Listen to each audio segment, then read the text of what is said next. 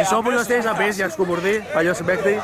Εξελίσσεται και μεγάλος Όχι παλιός και φετινός συμπέχτη και πολύ καλός προπονητής και έκανε παπάδες. Και φέτος το απέδειξε. Πήρε το πρωτάθλημα. Είχε πει την ομιλία χθες Ισόπουλο από δικαιοσύνη.